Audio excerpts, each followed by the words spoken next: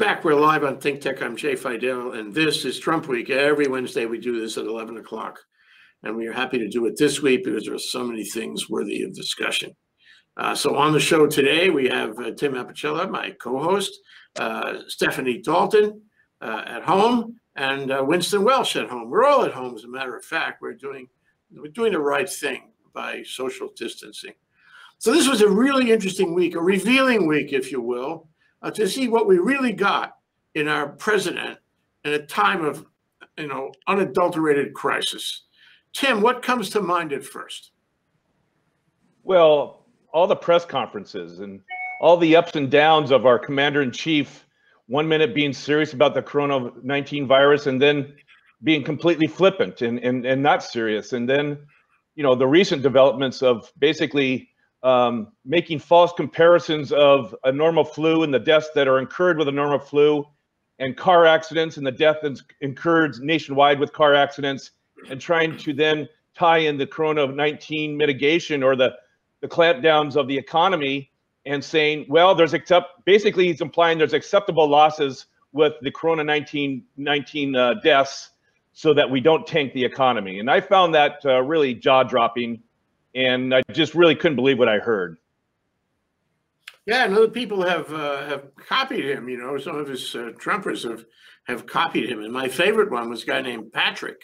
Patrick is the lieutenant governor of the state of Texas, and he said, you know, these these uh, old people, um, you know, uh, why, why don't they sacrifice themselves on the altar of the stock market? it'll be easier for us if they just mm, die and go away. I thought that was really interesting, and it's an extension of, of what uh, Trump was saying inter alia. Uh, Stephanie, what comes to mind for you? Well, I find I find that so um, off-putting. I, I, hardly presidential. So once again, I think, you know, his advisors must make mighty efforts, but they're not very successful at keeping him presidential, much less on script.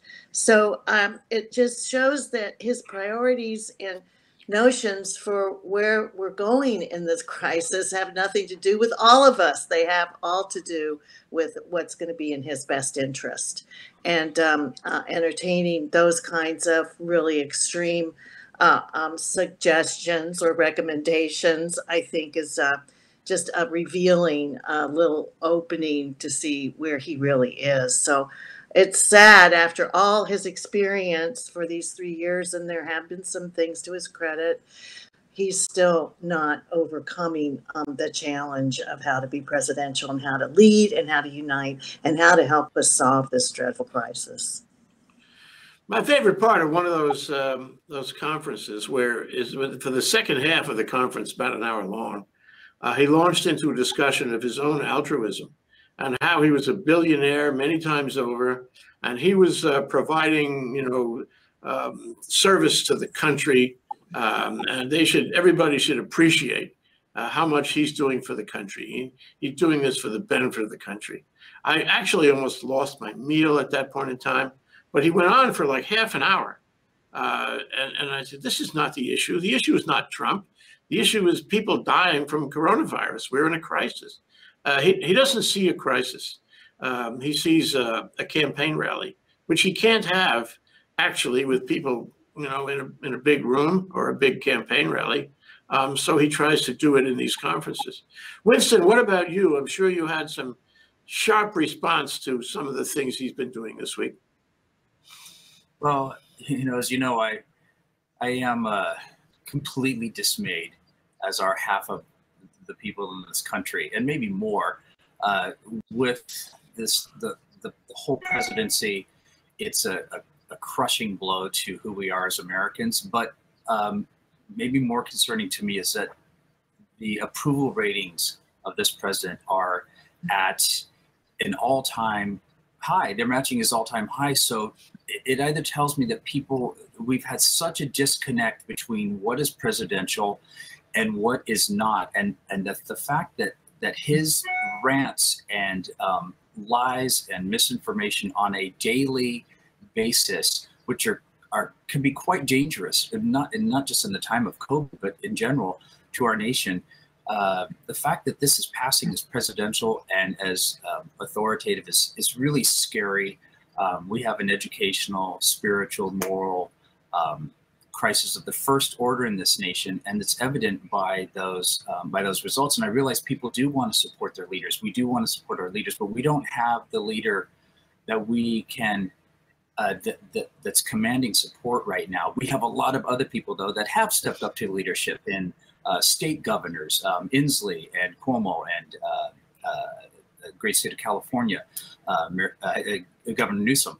We have even in Hawaii here, where our own mayor and, and governor have worked together to um, get a quarantine up and, and treat this as a serious threat. So companies are stepping up, nonprofits are stepping up people are stepping up and they're realizing we have to bypass the information that we're getting right now and try and suss through the truth. And we need media to do it. We need this show to do it. We need uh, a lot of people to step up and do that, and they are doing that. So again, my faith in America is uh, is constantly renewed, despite uh, the battering that it takes sometimes by people who purport to represent the best values of America. You know, Winston, there was um, gee, I forget who wrote the piece, but uh, there was a piece this week about um, how Trump. Oh yes, it was a, a Daily Kos, KOS, right? Um, and they were uh, they created a petition uh, for you to sign if you felt uh, that Trump that the networks should not carry uh, these press conferences that Trump does live. They should comment on them afterward, but not carry them live because they're too confusing, too authoritative, and therefore confusing when he lies. Uh, would you sign a petition like that? you know, what's the petition going to do? You either know that they're lies or not. And the people that have drank the, the deep orange Kool-Aid, and uh, I'm sorry, I don't want to just besmirch Kool-Aid, but they, it's a religious belief. It's a like a cult, but they they believe that he is absolutely right. He um, demands our our obedience, and um, I don't want to say our worship, but but certainly that he's right signing a petition is meaningless. Who's going to read it? Who's going to uh, listen to it? I, I, I don't put much stock in that. They've been signing that, uh, saying sign this thing since day one, and it won't make a difference. People tune in half the time, I think, just to see what outrageous thing he's going to say, and the other half just to say, oh, well, he said this, so therefore it must be true, um, because he does he speaks the gospel truth. So I, I, don't put any stock in that. I think any person in this country who wants the real news.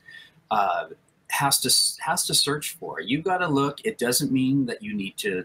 Uh, I'm not saying the, the media is not true. There are different um, opinions out there, and you need to go through that yourself and do some some soul searching and see what seems right uh, for you. Uh, but certainly, uh, without that, whatever's coming out, the, the documented lies that we see on a daily basis are not the truth. The other truth that we need to find out around that is up to each of us individually and collectively as well to uh, discover. You know, Tim, to, demonstrate the depravity of the ignorance out there, I want to mention uh, that, you know, you and I did a show which was entitled uh, a question um, is, uh, is coronavirus a hoax? Okay. And uh, now Trump was saying that uh, early on, you know, before he admitted that it was a serious problem. It was not that long ago, actually. It was when he first started talking about the coronavirus uh, epidemic, later pandemic. Um, but we get responses, we get comments on YouTube when we post our shows. And um, I've told you that on this show, and maybe you've seen yourself on this show where we where we ask that question, we have gotten an enormous number of comments. And I would say more than half of them are from people who actually today, now, think that Trump was right when he said it was a hoax. Um, it was just really chilling. They're still locked on to what he was saying before. Talk about blind following. They remember what he was saying before. He's changed his tune since then, but they're still agreeing with what he said before that it is a hoax. What's your reaction to that? Well, my reaction is exactly what Winston said, in that uh, there is a anywhere from 38% to 40% that have drinking the orange Kool-Aid. Doesn't matter what he says. They believe whatever he says, whatever he does, and they believe it's the right thing. Bottom line is, um, whatever he says at these press conferences, they now have to say, okay, That's what I believe. Particularly when now he's being a little bit more serious about the virus. Some of them are begrudgingly starting to follow those words. But if you looked at all those comments, and I think we got over 75, 80 comments, and I would say I, I disagree. I think we had well over 80, 90% saying that yes, the coronavirus 19 is definitely a hoax. And what do you say to that? I, you know, low information voters. Um, I don't know how you want to classify them, but the bottom line is uh, it's it's really unbelievable. And then you know we have a wartime president, quote unquote, wartime president who's acting less than a wartime president. He's acting quite petty in a lot of instances. Um, if I might just cite one example, um, I don't know if you guys caught it or not, but I saw a quid pro quo taking place yesterday's interview with Fox um, Fox interview in the Rose Garden, and I don't know if you guys caught it or not, but he said, um, uh, referring to Cuomo in New York, is that they have to treat us well also. They can't just say, "Gee, we'd like we should get that or we should get this." Um, it almost like he was dangling support and assistance to New York if they weren't respectful and, and nice to Donald Trump. If they weren't I, I saw it as if they weren't um, singing the praises of Donald Trump. He may or may not render assistance from the federal government, and and so, and I'm sure that there's many of his followers saying, "Yeah, that's a great idea. If they're not respectful to you and and and kiss your toes and your feet, then withhold withhold all support." Yeah, you're not the only one who uh, found a quid pro quo there. That was easy to find in what he said. And in fact, I've seen a couple of articles for the same proposition using that term that he was demanding a quid pro quo from Cuomo. Uh, really amazing. And I, I thought Cuomo was, you know, it was accurate. He wasn't necessarily criticizing Trump. He was criticizing the the federal response. And and Stephanie, what about the federal response? Can we drill down a little? What what has the response been in terms of supporting people, supporting the doctors, the hospitals, the people who are sick? Uh, what, what is the response in providing needed equipment, critically needed equipment and, and supplies and, uh, and testing equipment? Um, how would you how would you rate? Uh, well, first tell us what has Trump actually done, and how would you rate his efforts? Well, I must say I rate them very lowly. That here, there's no response. He refuses to take the recommendations to enact that production uh, act that comes out of the uh, 50s and has been used many times by other leaders to redirect the manufacturing a process in, in the country to make the airplanes that you need to go take on the Germans or whatever it is. But um, that has has been uh, very painful to listen to the pleas and and the importuning of the medical people who don't have any of their clothing that they need to go in and be protected and they're getting sick. So we're facing a further prospect of disaster as when these people in the medical profession who are willing to risk themselves as they're getting sick, they're dropping out, and we have less people to take care of the people who are increasingly sick. So I, I think it's so um, short short um, minded. He's just not thinking about how this is um, something that's going to come back on him. So I think that that those and that that plea from the medical community is across all media and how that can be ignored is beyond my understanding. And I think the American public is aware of that. Um, so, a, as far as his response, it's been pitiful and scary. And uh, uh, we're going to see things get a lot worse because of it. But I think that um, he's, as Tim was saying, I believe that he's already practiced quid pro quo with California. He's done a lot of that with California. So they weren't even supposed to get any disaster funding or FEMA from previous disasters. Remember the fires and earthquakes? So um, he's trying to withhold um, support for things he doesn't like there. And unless they play ball with him, he's not going to support them. Well, now I think there's some other uh, forces um, at work. But I think the question is what is the federal government supposed to be? States are the um, powerhouse for each one. Each one of them has its own status as a state. I mean, we went to war over states' rights, rights in the Civil War. States are powerful in their own right. and the federal government and the states together create a bigger prospect of unity and support and safety. So the Fed is there to be a, a, promoter of states' rights and a facilitator of having them meet their, their goals, which is the best prospect for the nation and builds our unity. So uh, there's some real confusion and, and tension that wasn't, I don't think, intended to be there in this arrangement we have of the United States of America. You know, uh, Winston, so, this is a kind of new federalism. Uh, you know, in, in, the old tension between the federal government taking action and this leaving it to the states. It goes back to the Constitution, but the Republicans over the past decade or two, you know, have really focused on that. And their idea is the federal government should do as little as possible and lay it off on someone else on the states. And that seems to be what Trump has done. Uh, he's saying to the governors, you do it. You take care of it. You order the ventilators. You order the supplies. I, am really not going to help you. And I'm not going to you know, uh, really activate the Defense Production Act because I, I, want, I want people to come to me, uh, companies to come to me and, uh, and offer their services. Uh, but I'm not going to take affirmative action on this. The whole thing sounds like a politician setting things up so that he can take credit for success and deny responsibility lay it off on someone else if there's a failure. What do you think about this new federalism we are seeing on an issue that's so critical to the country?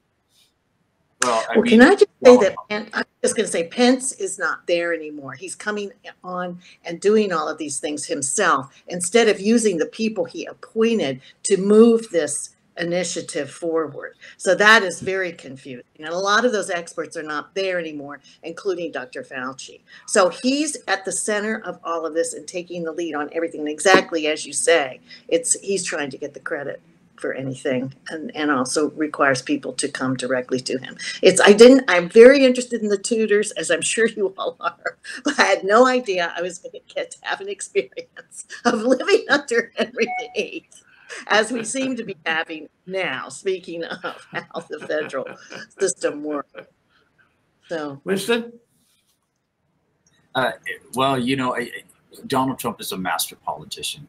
Uh, he's he has his finger on the pulse of America, and I certainly don't mean to disparage half of our, the people in our nation who are good folks. They're people, they're friends, they're our family, they're our coworkers who fervently believe that that he maybe he has warts, maybe he's ugly, but what he promotes is right fundamentally, whatever whatever that is.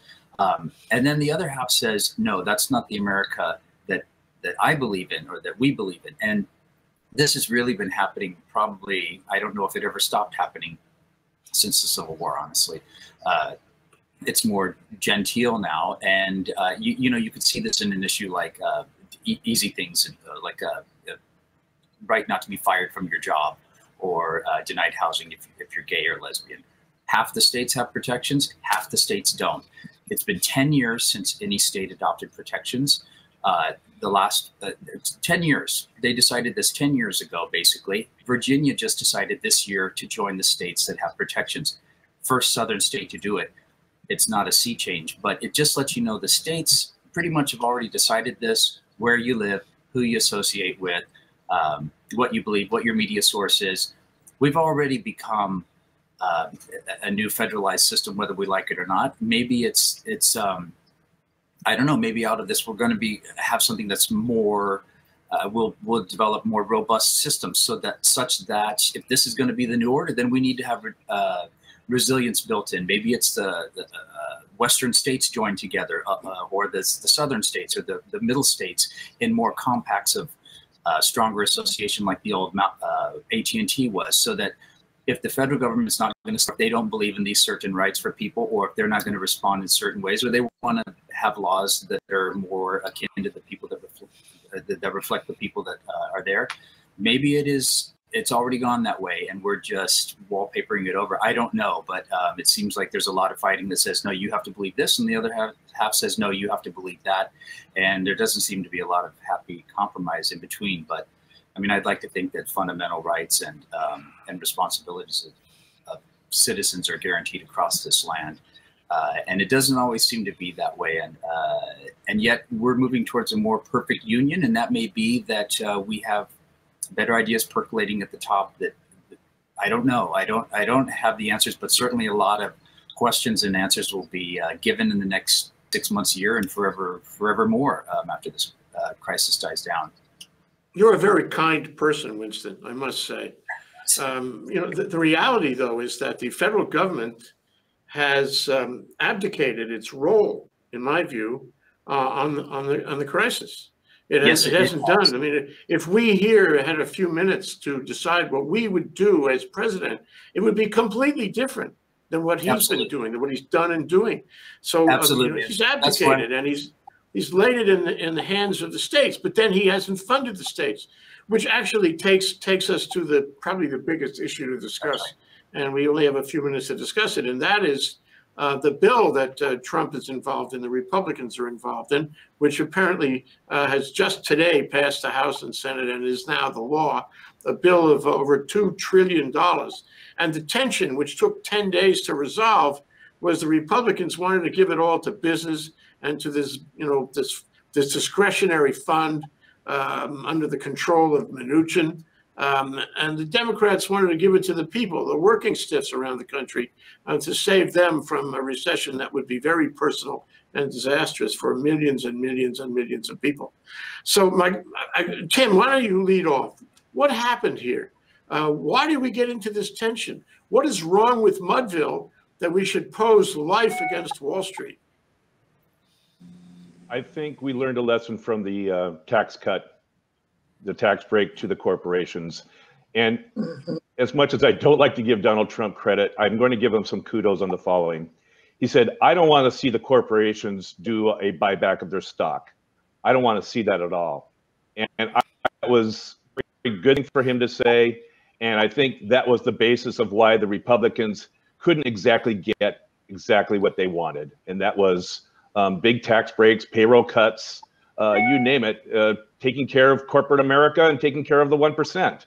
And I think this bill does hammer out and does serve um, taking care of the larger corporations, but also small businesses, direct tax relief to uh, you know everyone who's affected by this virus shutdown. And it's not the best. It's not even close to the best bill, but I think there's there's a compromise here. And I think if you look at the details of this two trillion dollar bailout, um, there's something for everybody. Huh, okay, Stephanie, what do you think about the bill? what do you what do you think about the effects of spending two trillion, two plus trillion dollars uh, in an economy, you know, from ultimately tax receipts in an economy which is on its back? Uh, how's that going to work out? And do you agree with it on a moral level? I think that uh, that the final um, out the outcome is more moral and more addressing of needs than than um, anything that was proposed previously. So I think that um, we may have something that has um, stimulated um, the certainly the the economy some. It seems to be there's signs of some appeasing the stock market issues because it has uh, value uh, for those who need who who require uh, more help. Um, I think that um, it it hasn't really solved anybody's problem because we're uh, increasing the deficit and we're going to have to end up paying all of this back. But but on the moral side of it, it does it does put people's feet to the fire as to how it is that they're going to uh, pump back into the the levers that are going to bring us back to normal again. So if, tho- Yeah. if that ends up less than what we did with the TARP and all of that during the financial crisis, everybody understands there were some mistakes made, but that was a crisis situation, and, and that, that we can do that better. And hopefully, what the outcome is is that it's better. But I think that Winston's point about the lack of leadership at the uh, we just have no leadership. So we look to this bill and its prospects and its power to influence and um, and and change the direction of our economy, and then the the, the, the, the desperate status of the people in the nation, and especially the medical community, as we said before. So um, we're looking to those kinds of things alone. We have to use that to make to bring us back together And I think that that is really pitiful when you think of the leaders we've had in the past in these crises that really transformed the nation's way of feeling and thinking about our status and how we're going forward. So um, it, it's very we're, we're operating under such a huge deficit, even though we have two trillion. Hey, how good is that? That's great, but the, we have no leadership to bump that two trillion into something that con- converts our minds and, and our, our hopes. So in You know, that Winston- regard, go ahead. Uh, Well, I just wanted to bring I- up I quickly wanna- that I think there's some paradigms going on here. Paradigms. In other words, people are so confused. There's no nothing to grasp.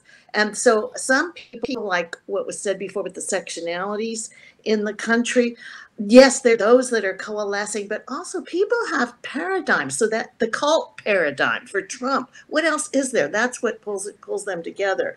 And our paradigm that's uh, um, emerging having to do with Biden, which has been which has made me think about this, which has been so enormously um, amazing in that everybody is kind of following the lead of South Carolina and Well, that's true. That, that, you know, Winston, doesn't And this this- give you, doesn't this trouble you in some way?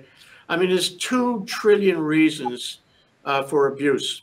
There's two trillion reasons for corruption. And I, you know, I suppose instead of spending a week on fine tuning exactly who is going to get what in, you know, in the working man section, working woman section, um, they spent 10 days uh, arguing about how they would control Trump and stop him from putting it into Mar-a-Lago which was a real concern by the Democrats. That's what they were arguing about, the control on the discretionary fund. And I'm not sure they actually handled that. I'm not sure they actually handled the, the problem of who do you give what to be equitable. So we have here a bill that was done with, with very little drill down, you know, attention to detail. Um, do you think this is going to work? Uh, and do you think it's going to work for the economy going forward? It is a huge amount of money and it's a huge bill to pay back. Uh, what are your thoughts about the way this ended up, Winston? boy, it, better work. I'll just say that. You know, people are hurting out there. This is an unprecedented economic crisis, if nothing else. Uh, which is why you know you hear these musings. Oh, we're going to start the economy on Easter. I don't think so. It's not going to happen as far as I can tell. But you know, uh, this the administration has been a hallmark of really corruption, and uh, this does not. Nothing like that uh, surprises me. Uh, it, who cares if we if, give him the money to buy Mar-a-Lago? If it helps, it's already going there anyway on some level. He's telling people to stay in his hotels. There's been no separation of his funds. I'm not worried about that. I want to see these these people, especially the 55 million Americans who are, um, you know, independently employed. They need relief. This is just not for people who are, you know, working in for, for a corporation. We need it across uh, the board. And it's interesting. Politico had an interesting article saying about that Donald Trump is exactly the president we need because he's not a not a budgetary uh, hawk on this. That, that you know these ideas that were dismissed as lunacy a month ago, like Andrew Yang's giving a universal income or uh, you know handing out, uh, you know, e- even to the point where probably universal health care will come in and then Donald Trump can claim it as his own and say this is the good for the people because he is a master politician. So if it means spending 2 trillion or 4 trillion or probably what I read today 6 trillion, you know what? In the end people don't care. They don't care because it's just money. It's going to be some inflation down the road. Um, we've been we haven't cared for a long time how much money we're spending, where we're spending it, or uh, you know, how we're spending it. So adding a little bit right now or a lot of it, actually this time it's needed. And if it makes a difference and gets people um, to pay their rent, to buy food, uh, to pay for medicine, and then possibly some more down the road to to uh, restart things. Obviously, a lot of it's going to go to corporations. A lot of it's going to be corruptions and and political payback. That is that is uh, absolutely going to be the case in any one of these government handouts. It doesn't matter what administration it's under. This one's just going to be more egregious uh, than in the past. But Yeah. I'm all for it. Get whatever we need to do to help people out right now. The every man and uh, every woman um, on the street out there. So w- there's going to be a lot more to come where this came from. Thank you, Winston. Um, so, Tim, uh, you have the uh, unenviable task of summarizing and predicting what's going to happen till next week. Prediction, look for Dr. Anthony Fauci to hold his head once again on, on front of the podium in disbelief as Donald Trump pontificates about the coronavirus and his self-perceived reality of what the virus is and how to cure it. That's one prediction. Number two is just realize that this um, economic relief is a drop in the bucket for all those many millions of people who are not working, and the amount of checks they're going to get in the next month or two is a drop in the bucket. So, prediction we are going into a deep recession as a result of this coronavirus. No two ways about it. I know the stock market's jumping up a thousand here and a thousand there, but when the death toll starts to ring in and people really go into a, a, a you know a very fearful mode, um, the economy is to produce that which it needs to produce. That's jobs and uh, revenue for for America. That's my prediction. Okay, well, that's uh, all happy news, but the, the story is this, this guy's gonna go shopping for groceries and he's told he, he'd better wear, um, you know, a, a mask and uh, gloves when he goes. And um, he, he comes back and he says, you know, you lied to me, you lied to me. Uh, they, uh, um, I wore the mask and gloves, but uh, they told me I should wear clothing too. It's everybody else. I tried, I, I, I didn't do a very good job at that. Anyway, thank you very much, you guys. Timing's everything, Jay. Timing is everything. Hey, Thank you. Hey Jay, I'll leave you with one thing. Tim, Stephanie. Shakas, yes, not Winston? shakes. Shakas, not shakes. So in the future, this can be our universal symbol of how you doing. No more All of right. this. All right, you guys. Right. Oh, good. Next That's week good. for Trump week, and if you, if you, if you wait a little bit, we'll start our show on coronavirus, Corona Corona Watch. Thank you all. Thank you, Tim. Thank you, Stephanie. Thank Thank you, you, Jay. Winston. Aloha. Thank you, Jay.